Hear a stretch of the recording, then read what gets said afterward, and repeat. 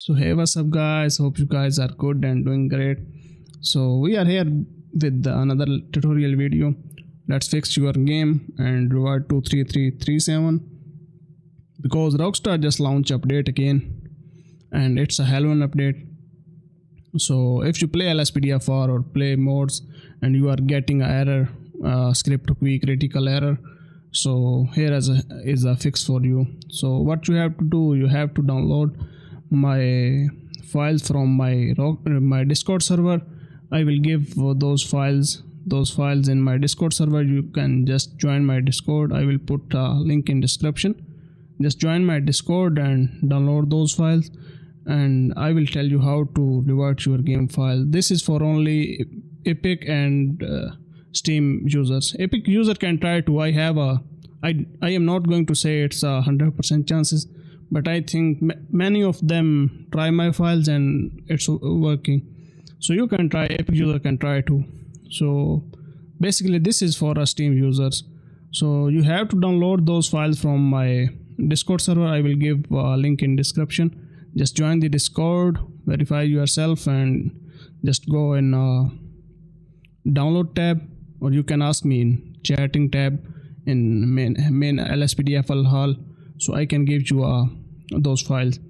So uh, let, us do it. Let's uh, revert your game. So what you have to do you have to open hold on i will show you.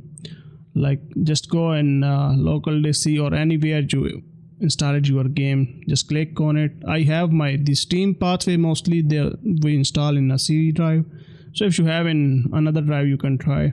So program file x68 86 i mean. So steam and we have to go in steam apps common grand theft auto 5 so this is our main game directory guys. So this is our main game directory. So what we have to just download my files and take take them from here like just drag it and drop it in buffer zone. Do not drag and drop in any folder. Drag and drop in buffer zone. And many of you know how to do it.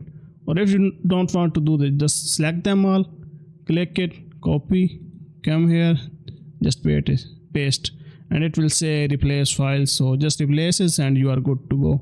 And make sure if you play lspdfr or mods make sure your script hook v has the same version like 3337 version so don't use older script hook v or anything and if your game is still not working you can just try if you if you are using reshade you can just try to reinstall the reshade and it will work for sure. So this is a tutorial guys. This is a simple fix for uh, lspdfr and story modes player for steam users. And i am going to say again for steam and for epic users only. Rockstar users have to wait they have to wait till the new update of script hook v arrive so this is the simple fix for you guys. Hope you enjoy. Hit the like and subscribe button. And don't forget to join my discord